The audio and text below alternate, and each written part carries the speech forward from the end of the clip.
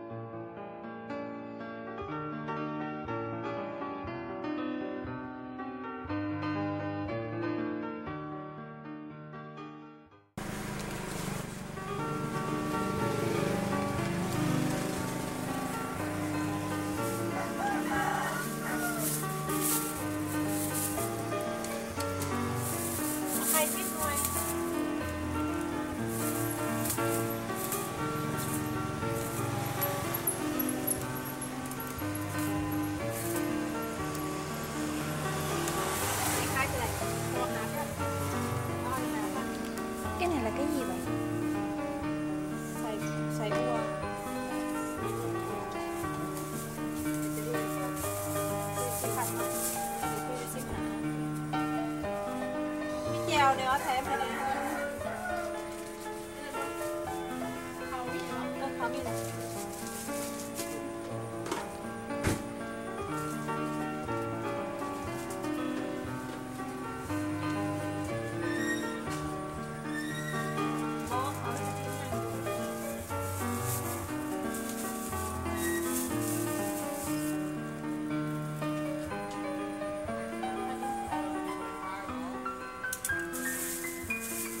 Thế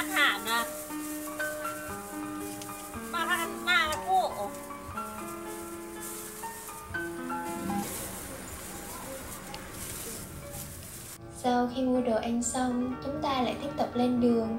Giờ mình sẽ nói sơ lược một tí về chùa Bát Phu nhé.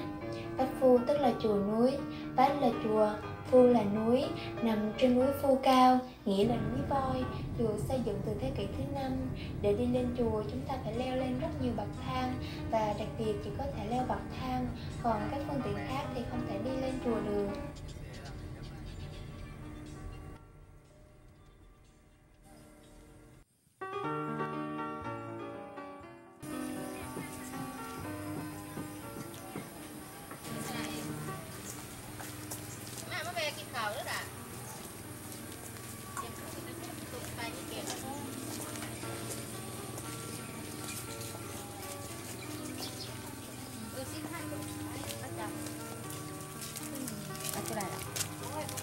ตำหมกฮุงกับมีแล้วแสบด้วดกตำโอ้ยไปอยู่ห่างก่นตำหมกฮุงตำหมกแตงตำหมกทั่วดอก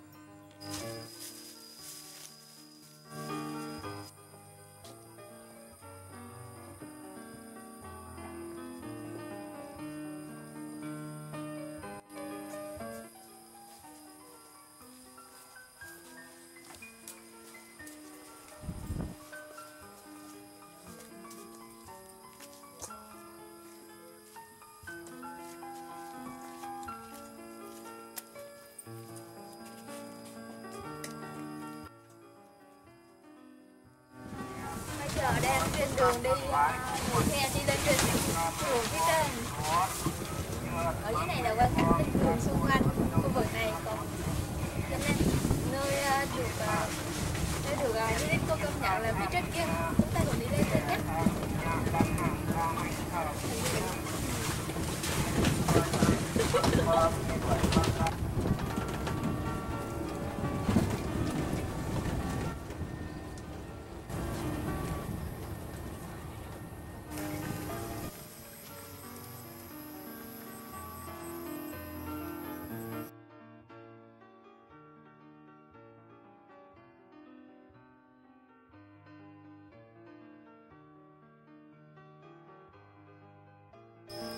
Mọi người. Sau hơn một giờ đồng hồ mình đã đến được nơi mình cần đến Đó là Bát Phu. Bát Phu này thuộc tỉnh Champasak, nước Lào. À, Nó được UNESCO công nhận là di sản văn hóa thế giới vào năm 2001 Bây giờ chúng ta cùng nhau đi xem ở nơi đây có những gì đặc biệt nhé.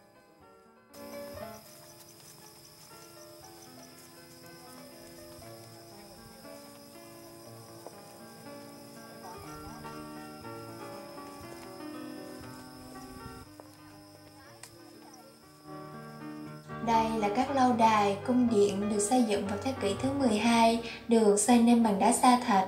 Hiện tại những kiến trúc còn lại ở đây là những kiến trúc xây dựng vào thế kỷ thứ 12 và thế kỷ thứ 13. Ở đây xây dựng hai cung điện đối diện nhau, kiến trúc giống nhau. Nơi đây dùng cho các vương công quý tộc thời xưa đến lễ Phật ở.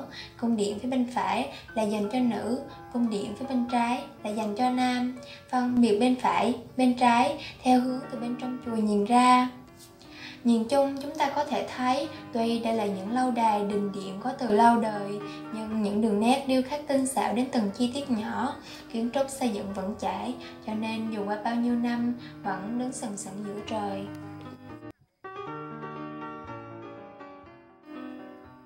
Bên trong điện, ta sẽ thấy có nhiều trụ nhiều cột mái nhỏ, được điêu khắc những hình ảnh tinh xảo, chi tiết nào cũng tỉ mỉ vô cùng, dù đã trải qua biết bao nhiêu năm tháng, vẫn còn nguyên vẹn với thời gian.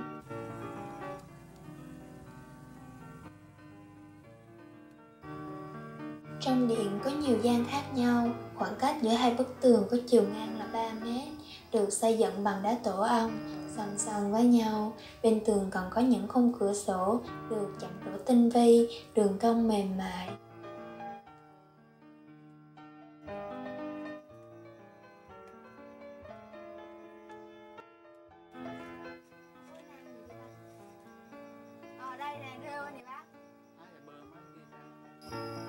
Đây là một khuôn viên rộng rãi đang xây dựng gian dở chưa hoàn thiện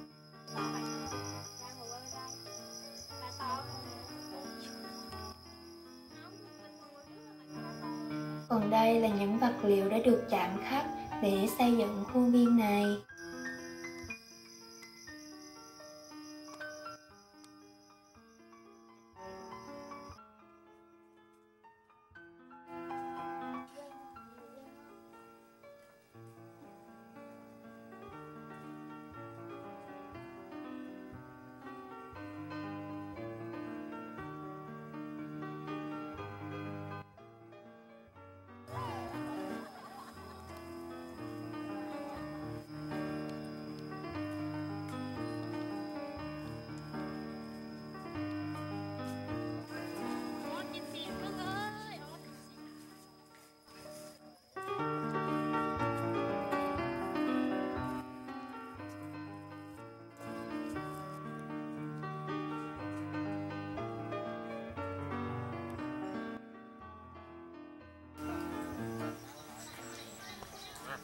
Vào đây อยู่บอกคนที่ตีลูกเอาหมักใหม่ถวายบูชาเป็นเครื่องฝากครอบตอนพันปูปัญญากรมถามาหอดมาถึงคนแน่ไม่เก่ายางเก่านาเก่าตาเจริญหุ่งเพื่อเขาทำนาทีการงานอันใดก็ได้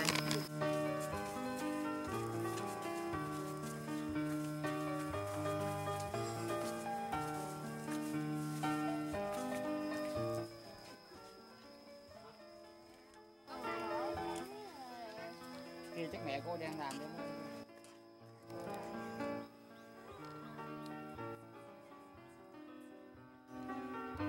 Đây là các bậc thang dẫn lên chùa Vách Phu, trải dài hai bên bậc thang là hai hàng hoa sứ.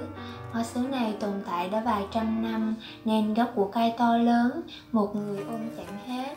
Nếu các bạn đến đây vào mùa hoa sứ nở thì ở đây trên những bậc thang, trên những nền lá xanh này sẽ có một màu trắng tinh tế phủ lên, hương hoa thoang thoảng trong gió, thật đẹp nhưng hiện tại mình đến đây vào mùa mưa mùa của cỏ cây xanh tươi. Nói chung mỗi mùa có mỗi nét đẹp riêng nên bất kể mùa nào cũng đều hấp dẫn khách du lịch đến tham quan nơi này.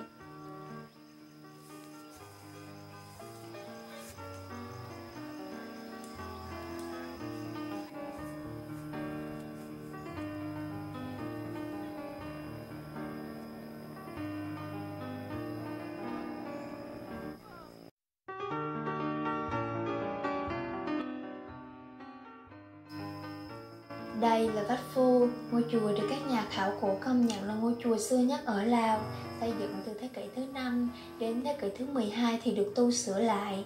Ngôi chùa này trước đây theo đạo Hindu thờ thần Shiva, đến thế kỷ thứ 13, Vách Phu trở thành trung tâm của Phật giáo, Thái Tiểu Thừa tồn tại cho đến ngày nay và trở thành một nơi lưu giữ các giá trị về lịch sử và văn hóa Lào. Tuy là theo đạo Phật, nhưng kiến trúc của chùa không thay đổi, vẫn giữ nguyên cấu trúc theo đạo Hindu, vẫn có hình điêu khắc của các vị thần Ấn Độ giáo.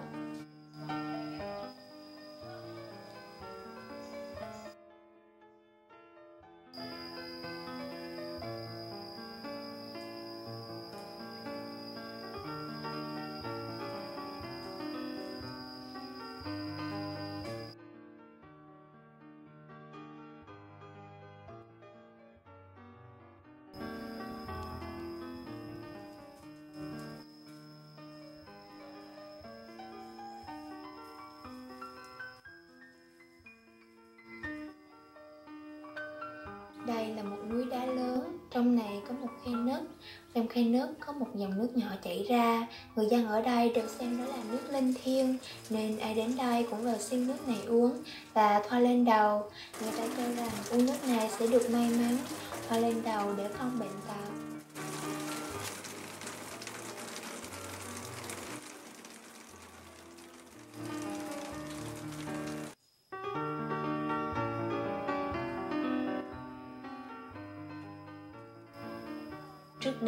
Người dân Lạp cái tập tục giết người tế thần linh để cầu đất nước bình yên và thịnh vượng. Sau này, người tạo lập Vách Phu, ông Kumantha đã duy trì tập tục giết một đôi nam nữ để tế thần. Về sau, tập tục hiến tế người được thay thế bằng hiến tế voi, nên ở đây người ta chạm trổ một tảng đá có hình đầu voi để dân chúng nhân hương tạ ơn.